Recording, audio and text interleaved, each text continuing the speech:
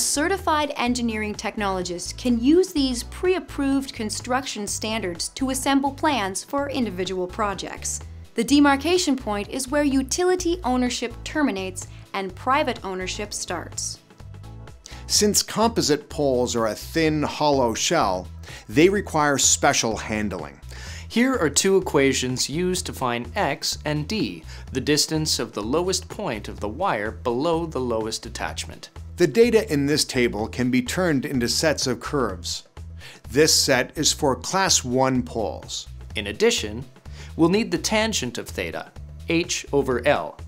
Old designs often neglected it entirely, basing their analysis on the soil bearing strength alone.